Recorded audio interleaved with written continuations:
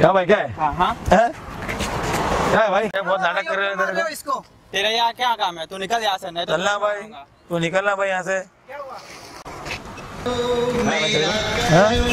क्या हुआ? क्यों मार रहे हो? आप कौन?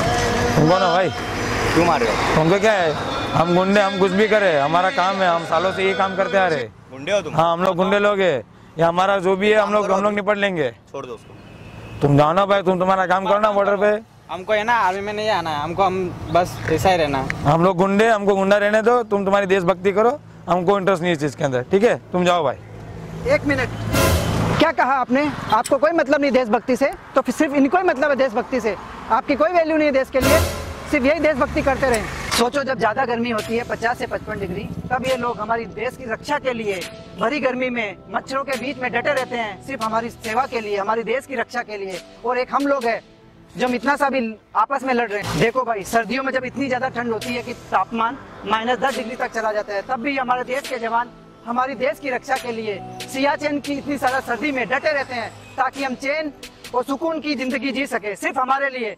देखो भैया, हमारी भी आप लोगों की जैसी फैमिली होती है। हमें भी मन होता है कि हम हमारी फैमिली के पास जाए। लेकिन हम जा नहीं सकते क्योंकि हमारे लिए देश के आगे कुछ भी नहीं क्योंकि हमें इस काम के लिए कहा गया है कि हमें आपकी सेवा करनी इसलिए हम वहाँ पे हैं। हमें पता है कि हम ज़िंदा लौट के नहीं आएँगे। फिर भी हमारे घर वाले वेट करते हैं हमारा। एक एक दिन गिनते वहाँ पे। ठीक है? और आप लोग बहुत अच्छे हो, जवान लग रहे हो। तो आप भी देश की सेवा करो ना। कोई मेडल ला रहा है, कोई क्या कर रहा है। यार, आप भूल गए, आज़ादी हमें कहाँ से मिली? भगत सिंह, सुखदेव, राजगुरु, गांधी, इन लोगों ने हमारे लिए कुर्बानियाँ दी है। तब जाके आप इस तरह से अभी ये लड़ रहे हो? तो आप बात करो, याद करो वो कुर्बानी जो उन्होंने हमें मेरे वतन के लोग, जरा में भर लो पानी। जो शहीद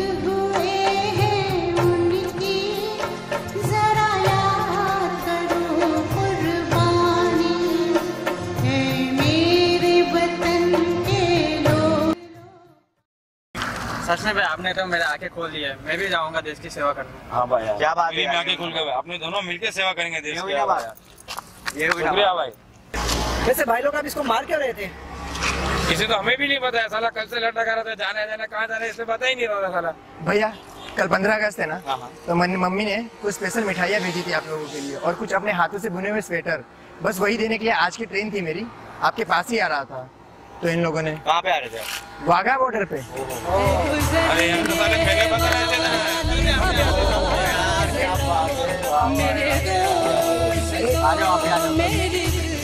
थे सबको कल को हो जाए सलामी। ये हमारी और हमारे देश की 125 करोड़ की आबादियों को संभालते हैं।